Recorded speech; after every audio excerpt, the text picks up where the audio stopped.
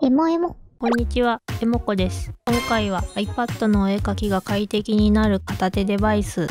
iClever ICKP08 をレビューします。iPad はキーボードが別売りなので、このままだとキーボードのショートカットが使えないのですが、片手デバイスを使うと好きな機能をボタン一つで呼び出せるようになって、お絵描きのスピードがすごく速くなるので、今回はこちらの製品を iPad やパソコンに接続してクリップスタジオで使ってみたいと思います。それでは早速開封してみましょう。今回はサウザンドショアスさんからレビュー用に全色ご提供いただきました。おー、キーが丸くて可愛いい。この製品は点キーと呼ばれるもので、本当は数字入力に使われるものなのですが、クリップスタジオでそれぞれのキーに好きな機能を設定すれば、お絵描き用の片手デバイスとしても使えます。付属品は説明書、USB ケーブル、シールが入っています。ケーブルの色はちゃんと本体の色に合うようになっています。付属のシールを使うとどのキーに何の機能を設定したか分かりやすくなるのが嬉しいです。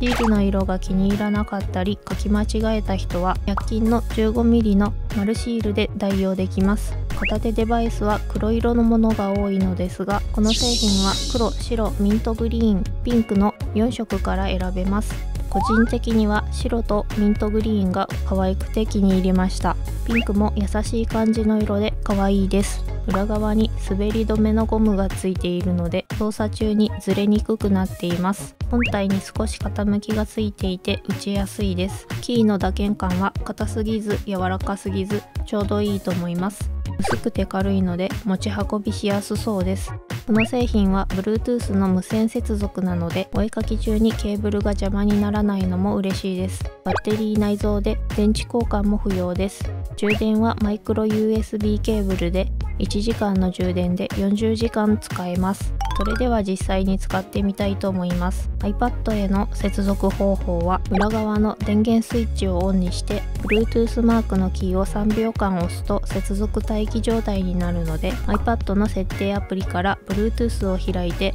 この辺に表示される製品名をタップすると接続されます。点キーの電源を切り忘れても30分で自動スリープしてくれてどれかのキーを押せば数秒で再接続されます。試しにメモ帳で文字を打ったらちゃんと打てました。接続できたらクリップスタジオで各キーに好きな機能を設定していきます。左上のクリップマークをタップしてショートカット設定をタップします。割り当てたいショートカットを選んでショートカットを編集またはショートカットを追加をタップして設定したいキーを押します。この時に注意しないといけないのが Num Lock キーです。使用中に間違って Num Lock キーを押すと右上の緑色 LED が消えて数字入力ができなくなってしまいます。もう一度押すと LED がついて元に戻りますがこの Num Lock がオンかオフかで割り当てられるキーの数や位置が変わるのでオンでもオフでも使えるこの6つのキーには本当によく使うショートカットを割り当てておくといいと思います。ちなみにオンとオフを両方使う場合には最大22個の機能を設定できます。私はひとまずこんな風に設定してみました。ブラシサイズを少しずつ変えたり一つ前に戻るややり直しなどツールの切り替えがボタン一つで簡単にできるようになりました。人によってよく使うツールが違うと思いますのでお好みで設定して自分だけの片手デバイスを作ってみてください。あとナムロックがオンの状態で電源を切ると次に電源を入れた時にナムロックがオンなのに LED がつかないようです。LED が消えていても数字入力はできるので使用上は特に問題ないのです。ですが気になる人はナムロックキーを2回押すと LED をつけられます。iPad に点キーをつなぐと文字入力する時にキーボードが出なくなってしまいますが最近の iPadOS では右下のキーボードアイコンを押すとキーボードが表示されて文字入力できるようになります。クリップスタジオ以外で使いたい人は Procreate のように片手デバイスに対応していないお絵かきアプリもあるので注意してください。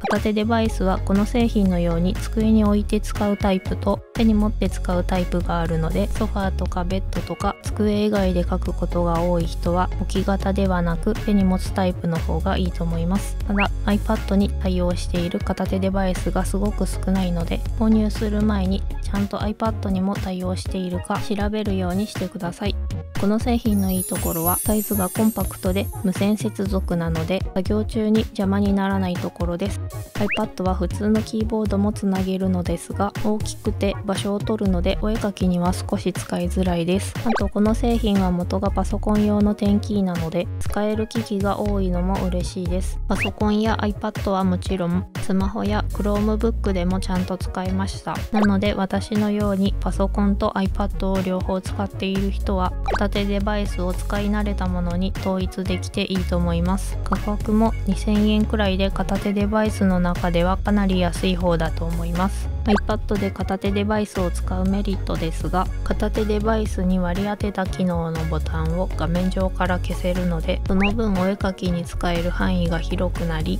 快適にお絵かきできるようになると思います。ポップアップパレットという機能を使えばパレットの表示非表示も片手デバイスで簡単にできるようになるのでパレットを使う時だけ表示するようにすれば画面がすっきりすると思います。あとクリップスタジオはタブキーを押すことで画面上のボタンをまとめて非表示にできるのですがこの製品にはタブキーもついているのであまりツールを切り替えない時にツールを全部消して画面全体で書くこともできます。なので特に画面の小さな iPad を使っている人はすごく快適になると思います。この製品の気になるところですがマルチペアリング非対応なので別の機器で使いたい時に一からつなぎ直さないといけないところです。ボタンで使う機器を切り替えられると嬉しかったのですが私みたいにパソコンと iPad を両方使っている人は少ないと思うので気になる人はあまりいないかもしれません。あと充電ケーブルがマイクロ USB ではなく USB-C だと外出する時に iPad Pro の充電ケーブルに一本化できて嬉しかったです。外に持ち出す時の注意点ですが電気の電源をオフにし忘れるとカバンの中で勝手にキーが押されて iPad のパスコードをご入力することがあるようなので気をつけてください。